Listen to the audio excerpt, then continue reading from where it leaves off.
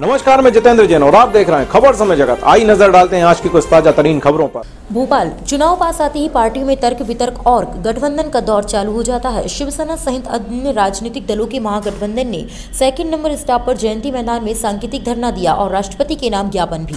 सीएसपीटीटी नगर को दिया। शिवसेना जिला अध्यक्ष कुलदीप तिवारी का कहना है कि अधिकतर कंप्यूटराइज सिस्टम को हैक किया जा सकता है, जिसका प्रमाण हमारे देश के वैज्ञानिक दे चुके हैं। उसके बाद भी ना तो सरकार के कान में जू रेंग रही है और न ही चुनाव आयोग के कान में। शिवसेना आगे जनमत संग्रह करके ईवीएम का विरोध करेगी। यदि फिर ऐसा नहीं हुआ तो उग्र आंदोलन करके चुनाव का बहिष्कार करेंगे। कार्यक्रम में भुवनेश्वर मिश्रा, प्रदेश सचिव संतोष यादव, रोशनी तिवारी, महिला युवा सेना जिला अध्यक्ष योगेश शर्मा वरिष्ठ जिला उपाध्यक्ष योगेश शर्मा, सुनील दुबे, जिला उपाध्यक्ष जिला उपाध्यक्ष संतोष तिवारी, अजय अप्पा, कोलार नगर अध्यक्ष संतोष संतकर, जिला मंत्री दीपक सूर्यवंशी, हुजूर विधानसभा उपाध्यक्ष राजा यादव, विधानसभा सचिव आदेश तिवारी, पुजारी संघ अध्यक्ष सहित अन्य पार्टी के पदाधिकारी उपस्थित थे। जहाँ तक ईवीएम की बात है तो ईवीएम के ऊपर जो भरोसा है, जनता का उठता जा रहा है। और जब भी कांग्रेस या भाजपा हार, जैसे कांग्रेस हारती है तो ईवीएम के ऊपर दोषारोपण कर देते हैं। अभी जैसे गुजरात में कांग्रेस हारी तो उस बोल दिया कि भाई ईवीएम ख़राब है। लेकिन मैं कांग्रेस वालों से भी और दूसरी पार्टी के लोगों से भी कहना चाहता हूँ कि अगर ईवीएम इतनी ख़राब है, भाई कमलनाथ जी ईवीएम इतनी ख़राब है तो लोगों को सड़कों पर उतर के आंदोलन करें, गांव-गांव लोगों को ईवीएम के खिलाफ जो है जागरूक करें, लेकिन लोगों को बेवकूफ़ बनाने का काम आप भाजपा और कांग्रेस कर रही है, ये बेवकूफ़ ना बनाया जाए।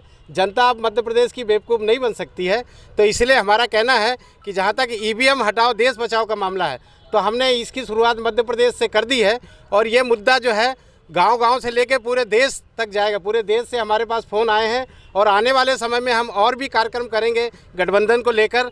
तो हम हमारा कार्यक्रम हर महीने चलेगा और आने वाले नवंबर दिसंबर में हम ईवीएम के खिलाफ यहाँ पर भोपाल की धरती पर दो लाख लोगों का एक बड़ा जलसा करने जा रहे हैं और जिसमें हम देश के अन्य नेताओं को भी इधर बुलाएँगे। समता पार्टी का जनाधार के हिसाब से जी। क्या आप चुनाव को यदि ये नहीं हटाई जाती चुनाव आयोग यदि को नहीं हटाता है तो क्या आप इसका चुनाव का बहिष्कार करेंगे क्या सारी पार्टियाँ मिलकर देखिए, जहाँ तक बहिष्कार की बात है, हमारा हमारा मकसद केवल ये है कि हम ईवीएम के खिलाफ आम जनता को हम जागरूक करें। जर्मनी ने इसको असंवैधानिक घोषित किया है।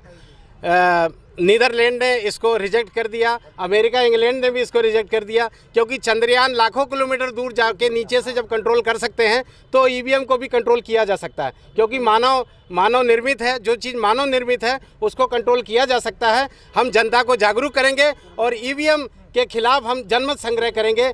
निश्चित तौर पे हमको सफलता मिलेगी। आप लोग यदि मैंने आपसे जैसा कहा कि यदि नहीं करते तो आप लोग बहिष्कार क्यों नहीं करते चुनाव? ये ये बात का प्रश्न है। ये अभी तो हमारा अभी हमारे पास ढाई साल है ढाई साल का मौका है। अभी हम ढाई साल हमको काम करने दो। जब चुनाव आएगा तो इस प्रश्न के ऊपर हम आपको इसका जवाब देंगे। जी किस किन मांगों को लेकर आज अपने ईवीएम को लेकर आप प्रदर्शन कर रहे हैं? क्या ईवीएम को लेकर के प्रदर्शन कर रहे हैं चूँकि ईवीएम हटाओ देश बचाओ।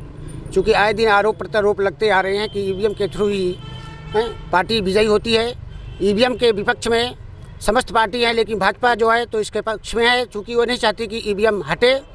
इसके विरोध में हम जो है धरना सांकेतिक धरना कर रहे हैं और साथ में ही इसे बड़े पैमाने पर भी आगे बढ़ाएँगे। आप कह रहे हैं कि और भी पार्टी कह रही है लेकिन इसमें आप शिवसेना और आपके अलावा कोई पार्टियाँ सहयोग नहीं दे पा रही क्या कारण?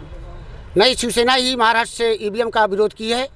और उसी मुद्दे को हम आगे बढ़ा रहे हैं। साथ में हमारे महागठबंधन के साथ समस्त पार्टी जो हमारे साथ हैं। यदि ईवीएम नहीं हटाई जाएगी तो क्या शिवसेना इस चुनाव का बहिष्कार करेगी क्या?